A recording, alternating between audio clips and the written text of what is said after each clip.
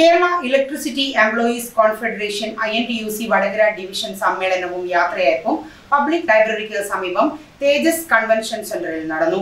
K P C C മുൻ അധ്യക്ഷൻ മുല്ലപ്പള്ളി രാമചന്ദ്രൻ ചടങ്ങ് ഉദ്ഘാടനം ചെയ്തു. നിങ്ങൾ അറിഞ്ഞോ കേരളത്തിലെ ഏറ്റവും വലിയ ഫേർണിച്ചർ ഡിസ്പ്ലേയുള്ള ഷോറൂം നമ്മുടെ കൊയിലാണ്ടിയിലെ മുജുകുന്നിലെ ഒലിവിയ വുഡ്സിലാണെന്ന കാര്യം? ഇരുപത്തിരണ്ടിൽ നമ്മൾ എത്തി നോക്കുമ്പോൾ ഇന്നത്തെ പത്രം എടുത്ത് പരിശോധിച്ചാൽ നമുക്ക് മനസ്സിലാക്കാൻ സാധിക്കും.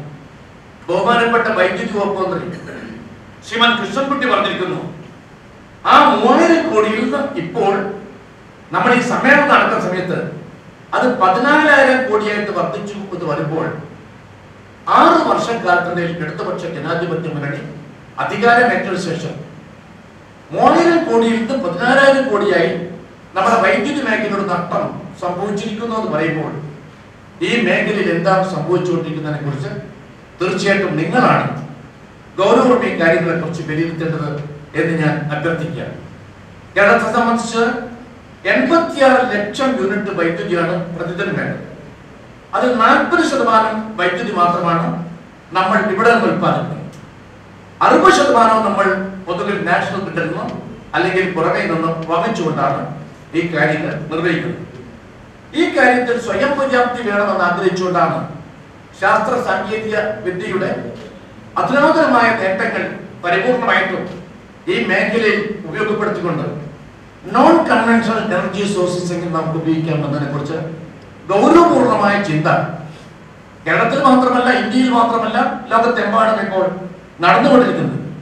നോൺ കൺവെൻഷണൽ എനർജി അല്ലാതെ ഹൈഡ്രൽ എനർജി ഇനി വരാൻ പോകുന്ന കാലത്ത് നമുക്ക് സ്വീകാര്യമല്ല എന്ന് ലോകം അംഗീകരിച്ചിരിക്കുകയാണ് അതിൽ ഏറ്റവും പ്രധാനപ്പെട്ട കാര്യം കേരളം പോലെ അതീവ പരിസ്ഥിതി ലോലമായ ഒരു സംസ്ഥാനത്ത് ഒരു തരത്തിലും നമുക്കൊരു ഹൈഡൽ പ്രോബിനെ കുറിച്ച് ചിന്തിക്കാൻ സാധ്യമല്ല.